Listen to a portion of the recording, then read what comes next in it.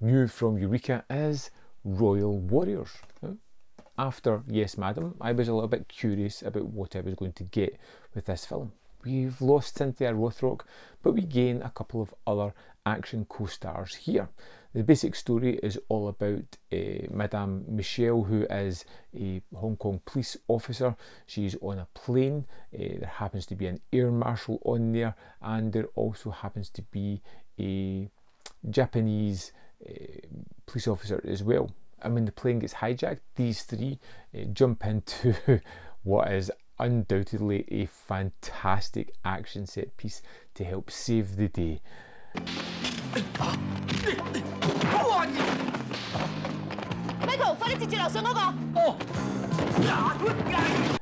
Although people die, there's grenades going off, people are getting sucked out of windows. It is the most traumatic um, attack on a plane if you're just a passenger. But my goodness, for an action spectacle, it's just utterly stunning. And these three people are lauded as heroes, rightfully so. They saved the day. But they had to kill a couple of bad guys in doing that. And it turns out that these bad guys had friends. Friends who hold grudges. And we find out later on why they're holding that grudge and what made them such strange uh, friends. But that comes into place later on, like I said. And we have our three heroes targeted for revenge from the bad guy who will stop at nothing to terrorise, hunt, and kill our three heroes.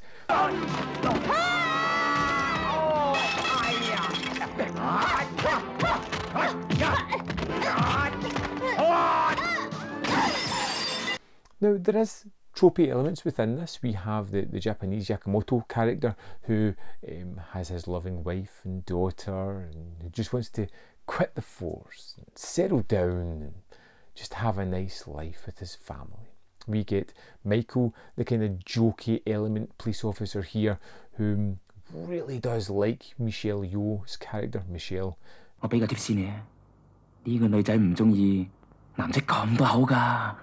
我又俾个 tips 你啊，我决定追佢。系咩？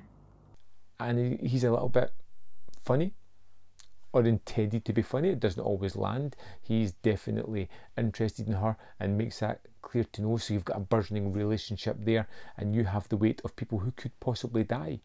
And uh, this is one of those movies where not everybody's going to make it to the end, which adds a good deal of weight to the film itself. Now, the action set pieces in this one are utterly terrific. They are jaw dropping, whether it be the plane uh, attack at the start, whether it be in the bar, that crazy fight sequence, whether it be Michelle Yeoh fighting the main bad guy uh, with a chainsaw at the end, where she has to kick him in the throat to stop him.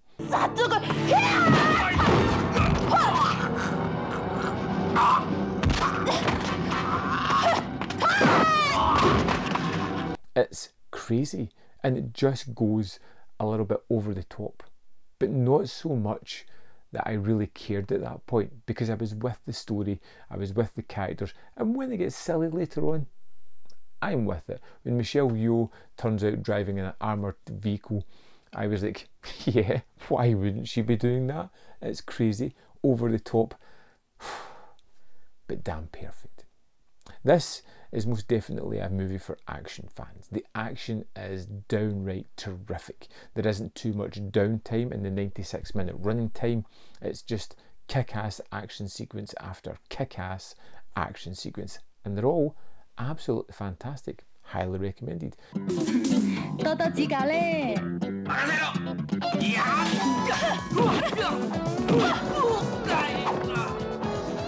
I liked Yes Madam. I think I preferred Royal Warriors just.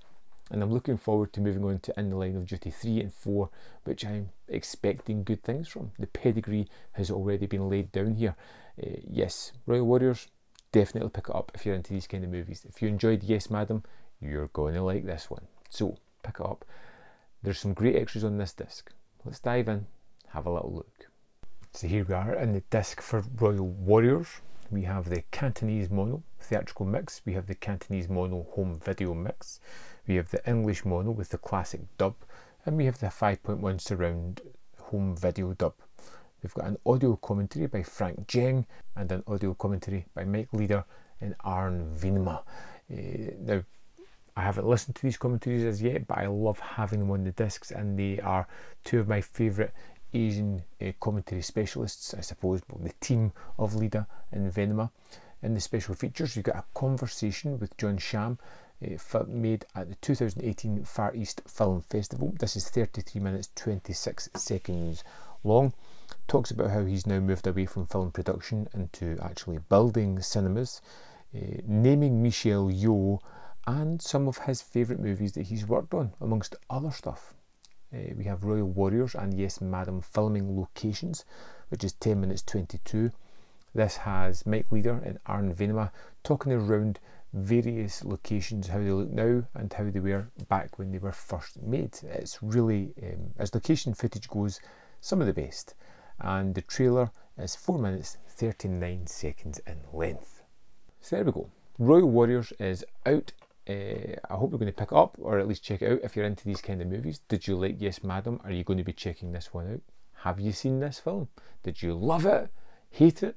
Fall somewhere in the middle? Let me know in the comment box below. We can have a little chit chat about the film. As always, there's more content up here. You can see more of my stuff if you are interested.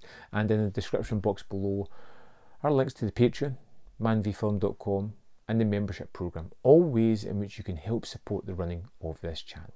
Thanks for watching, and I'll see you next time on Man v Film.